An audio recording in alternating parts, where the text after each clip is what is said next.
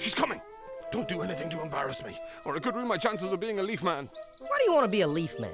They gotta wear uniforms. Me, I like to let it all hang free. You see this? You see that?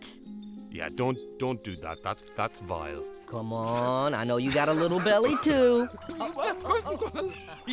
Gentlemen, Hey, Your Majesty. Mub, Grub, it's a very nice looking group of pods. Do you have a favorite? Boom! Right here, biggest in the bunch. How about that one? For real? But it's so. Perfect! It's perfect! Excellent choice, Your Majesty. Sometimes the biggest one isn't the best one. I told you, she doesn't like gaudy, Mub. Unlike you, she's got class.